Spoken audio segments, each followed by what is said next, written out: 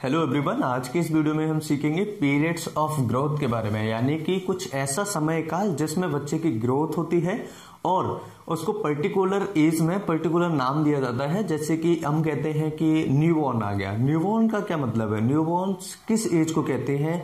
या pre school किस as को कहते हैं? न्यूबॉर्न इनफेंसी टोडलर है एम्ब्रियो है फीटस है और एडोलसेंस हम किस एज को कहेंगे? तो इस वीडियो में हम सीखने वाले हैं कि पर्टिकुलर किस एज में कितना ग्रोथ हो रहा है। हालाँकि हम यहाँ पर ये नहीं बताऊँगा मैं आपको कि पर्टिकुलर एज में इतना ग्रोथ हो रहा है। वो एक नेक्स्ट वीडियो में हम डिस्कस करेंगे, बहुत अच्छे से डिस्कस करेंगे कि किस एज में कितना बच्चे को बढ़ जाना चाहिए, कितना उसका डेवलपमेंट हो जाना चाहिए, कितना उसका फ़िज़िकल फिजिकली या साइकोलॉजिकली या फिर सोशल डेवलपमेंट उसका होना चाहिए। लेकिन हम यहाँ पर केवल बात कर रहे हैं कि पर्टिकुलर किस एज में एक पर्टिकुलर नाम दिया जा रहा है तो प्री नेटल की बात करें। प्री नेटल की अगर हम बात करें तो यहाँ पर हमें ध्यान रखना होगा। प्री नेटल यानी कि कंसेप्शन टू वर्थ कंसेप्शन से लेकर के वर्थ तक की जो एज होती है, उसे हम प्री नेटल की कैटेगरी में रखते हैं। अब इसे हमने दो या तीन में डिवाइड कर दिया। तीन यानी कि ओवम एम्ब्रियो फिटस के बाद। अब यहाँ पर हम बात करें ओवम की तो ज़ीरो टू फोर्टी डेज़ तक होता है ओवम, और एम्ब्रियो की बात करें तो fourteen days fourteen days to nine weeks होता है एम्ब्रियो और फिटस की बात करें तो नाइन वीक्स टू वर्थ तक होता है। यानी कि ओवम जो है, आप सभी को पता है कि यहाँ पर 14 डेज़ जो मेंस्ट्रुअल साइकिल का 14 के आसपास जो अराउंड डेज़ होते हैं, वहाँ पर ओवम रिलीज़ होता है। तो काफ़ी सारी प्रोसेसिंग वहाँ पर होती है।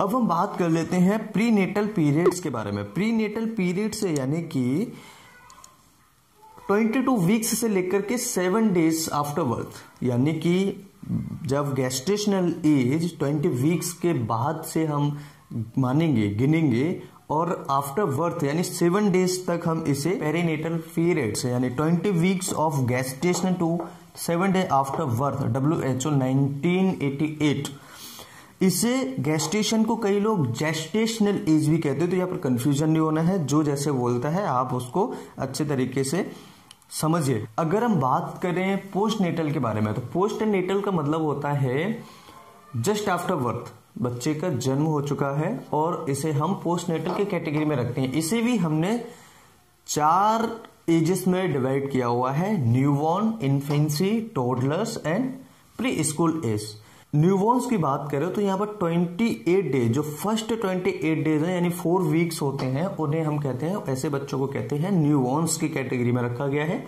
और अगर जिनकी उम्र फ़र्स्ट ईयर यानी 12 महीने, यानी एक ईयर से कम है, उन बच्चों को हम इनफेंसी की कैटेगरी में रखते हैं।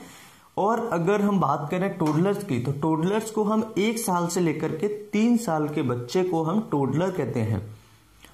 टोडलर एक ऐसा वर्ड है जिसमें बच्चे चलना सीखते हैं और अनस्टडी वॉक यानी कि अस्तर चल पाते हैं, सही से चल पाते हैं, कुछ नहीं चल पाते, कुछ सीख जाते हैं, कुछ सीखते हैं। इसे हम टोडलर की कैटेगरी में रखते हैं, एक साल से तीन साल के बच्चों को।